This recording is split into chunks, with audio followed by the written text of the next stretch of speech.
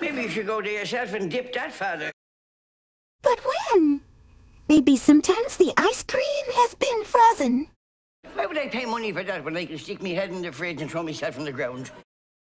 I needed it. No wondering to get the money from the shops.